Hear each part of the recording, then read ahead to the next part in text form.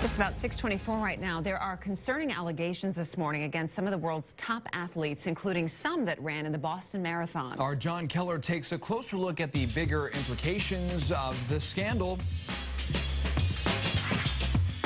Reports out of Europe that 32 medal winners at the top marathons in the world, including Boston, have registered suspicious results in post-race blood testing come as a real disappointment, especially, I'm sure, to the dedicated people behind the Boston Marathon who take pride in their event, not to mention the thousands of runners who compete within the rules. But it shouldn't come as a surprise that some people would try to cheat the system. If it can happen in youth sports when some little leaguer lies about his age, it'll surely happen when serious money's involved.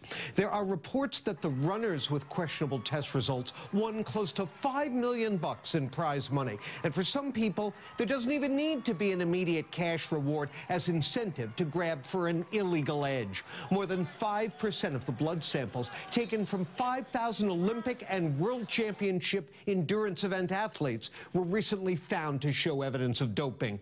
Experts believe up to a third third all medalists in those international events over a decade were won by juiced up athletes. Look, we expect elbows to get sharp and advantages to be relentlessly sought after in business, politics, or grabbing that last seat on the red on the green line. We expect it in certain sports, but the marathons and the Olympics, maybe they should just give up and say to the cheaters, okay, if you want to juice up, go ahead. But tell us upfront so you can have a scarlet letter pinned to your jersey. And we'll let the public decide if you're the one they want to honor at the finish line.